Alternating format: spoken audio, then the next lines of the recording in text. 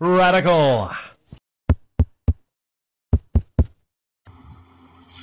All right, so quickly, just going to go over two things I would never do on YouTube. I would never do personally on the platform, never have done, will not do, and will never do in the future. What are those two things? There's actually three things. The third thing is I'll never stick to a consistent upload schedule on the comment reply shows. I'll never do that. never do that. Uh, by the way, another Radical Rapid Fire coming later on today. Still trying to catch up there, right? Seven days in a week. Figure if I upload two or three, maybe a day, five or six, maybe we'll get caught back up eventually. I'm just kidding about the third thing. I, I do honestly want to try to be consistent and get caught up. I do. That's goal, personal goal. Maybe 2025, possibly.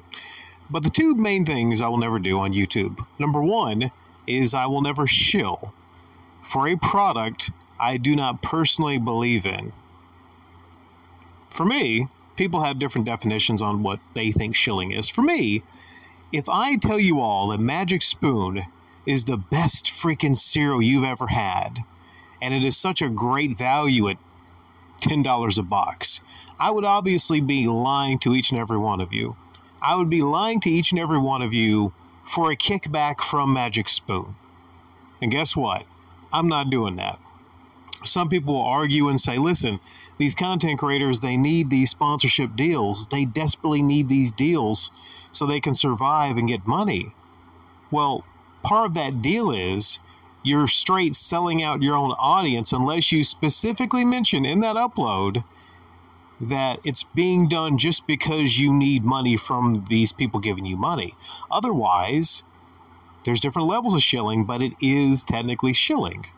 So, what you can do is if you love something and you use it every day and you believe in it like I do, Sprayway glass cleaner then you can gladly promote Sprayway glass cleaner.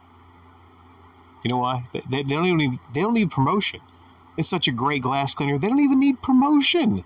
It's so damn good. Usually under three bucks a can, lasts you forever. Even good on rims. Not just good on glass. Good for just about everything. So there's my promotion for Sprayway glass cleaner. Now, if there's another glass cleaner that works not nearly as well, that said, Hey, Radical Rick, we heard you talking about Sprayway glass cleaner. Uh, would you possibly consider talking about our product? We'll give you a bag of cash or a couple quarters or something if you talk about our product. Then I'll say, only if it's nearly as good as Sprayway glass cleaner, I will. Why would I want to sell you all on inferior glass cleaners? This is just a, an example there. So, shilling is not one thing I'll do shilling for something I don't believe in personally. The second thing I will never do is I will never e-beg. I will never be involved in, I will never even entertain the idea of e-begging my own YouTube audience. Now, what people feel is e-begging, what most people feel is e-begging might not be exactly the same thing as I feel is e-begging right now. What most people feel to be e-begging nowadays in 2024 on YouTube is far and away the more classical sense of it, the more literal sense. Whereas you have an upload and you ask people for donations directly. You clasp your hand together, hands together, and you tell people that you're behind on the house payments. You've invested a lot in YouTube, which could not, you know, it could be truthful that you invest a lot in time on your YouTube channel, your uploads, uh, the lighting, the set, which could be costly, yeah. I think it's gr- grossly overestimated when it comes to YouTubers when they talk about how much it costs to make their uploads. But that's direct begging. If you ask your audience, hey, I need money to continue to make these uploads, or hey, I just need money to live on, then that's what most people would call out and say, hey, hey, hey, you're an e-beggar. But then there's other different types of e-begging. And people may vary in what they feel easy begging, like I said. People may vary in what they call it. seeking donations, maybe having things like super thanks or your Patreon link or things of that nature. Uh, YouTube now has a built in super thanks, for instance. Um, YouTube pushes it, by the way. So, in many cases, the person might not think even what they're doing is wrong. And there's a discussion too how you feel about e-begging, different types of if it's right or wrong or whatnot. That's a discussion in itself. But YouTube is heavily pushing that onto creators. I a couple days ago got a pop-up from YouTube telling me that I could enable my super thanks. So that's heavy. You know, I don't even know if I click on something wrong and then YouTube enables the super thanks because I accidentally click on something. I don't know. I don't know to what lengths YouTube itself will try to push me to try to start e-begging, but there's a heavy push right now. It's not a couple years ago when Patreon was the method of e-begging. Now it's integrated into YouTube. E-begging essentially is a person, a creator, accepting donations from their audience. That's all it is.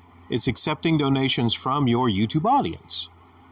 Now, the level of which people will consider that to be a perfectly just thing or a more morally wrong thing is a side discussion. But it is what it is. That is e-begging. Sometimes people will say to me, hey, Rick, you know, that's not e-begging. That's not e-beggary. At the very least, it's low level, like entry level e-begging it is the lowest like tier of e-begging. And then there's higher tiers of e-begging. What's a good example? I would say, uh, any of you know Silent Rob, right? Years ago, Silent Rob basically wanted to get money. I forget the details. They basically wanted to get money for an engine to put in his little Fiero, his little Ferrari, Ferrari, whatever you call them, Pontiac cars, right? And he wanted to get money or an engine. I forget. He was sent money or an engine or some shit, right? And he had YouTube Upload basically talking about that. And I apologize because I, I don't remember the details because that was years ago. I just recently talked about in the RGT85 upload where Metal Jesus said he, uh, you know, this basement leak of his was going to cost a lot of money. Then he had a Patreon link, and people were going to his Patreon in his comment section saying, "Hey, we're going to chip in. We're going to donate to your Patreon." So there's many instances of that. On that spectrum, or, or let's say uh, Camelot 331, doggone it, when he was getting up money to fix a NASCAR of his. That's e-beggery. But that's higher level e-beggery, for instance. Jirard the Completionist. I could go on and on. Those are higher level of e-begging. Well, what you see mostly now is you go to a channel and you see that they might have a super thanks or a Patreon link or something of that nature and that's more normalized e-begging. We'll just call it that. It's normalized e-begging. It doesn't mean that person is morally reprehensible. It doesn't mean that person isn't a fine, upstanding individual in their life. It doesn't mean that they are to be reviled and um, castigated. Is that the word? Maybe it's not the word. From society. It just means that they're probably just being pressured and pushed into it by YouTube itself, by some of their audience that say you should get a super thanks, we would donate. I mean, you got to understand as a creator, there's constant pressure into becoming an e-beggar. The pressure is there constantly. So it's not like it was 10 years ago when the beginning of Patreon and all that kind of stuff. It's different. Now it's so normalized, it's hard to find a channel. You're hard pressed to find a channel that doesn't at least have some type of low form e-beggery integrated, is what I'm saying. But just me. For me personally, two things I would never do. One is shilling for products I don't personally believe in because I don't want any of you buying a product that I'm pushing that's going to break or be crappy or not what you need because I respect you all as my audience. I respect your time here. And number two, I would never e beg for my audience. I would never take any donations from any of you under any terms. Some of you might argue, hey, you've entertained us for several years. We just want to give you a donation. We know you're spending your time on the channel. We know you've uploaded over 3,000 uploads for us, for our entertainment. So here's a buck or two. I don't vibe with that. I appreciate my audience. I want you spending your money on things that you need for your life, especially in this terrible American economy that we have right now. And for me, I feel lucky that a lot of you are spending your time coming here just listening to me. I feel lucky to have low key made friends with a lot of you through the years. I feel lucky to be able to, you know, share tips and tricks on in video games and in real life with a lot of you. And I feel lucky and fortunate to, on my channel, have some of the best comments ever left on YouTube. Even though, like I said before the other day, it's getting harder and harder to even leave comments on YouTube. So ultimately, I feel very just lucky to be where I am in life and on YouTube and to have shared the experiences just from me crafting my entertainment style and becoming a much better commentator through the years on YouTube.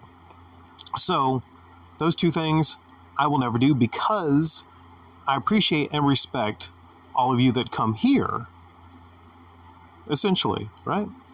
Um, but again, when it comes to e begging, you're hard pressed to find a channel now in 2024 that does not, in some way, shape, or form, dabble in it. So sometimes I feel like we, we talked about the last gamer the other day, which was a weird name for him because he wasn't the last gamer because people are still gaming. If he's gone from his channel, people are still gaming now.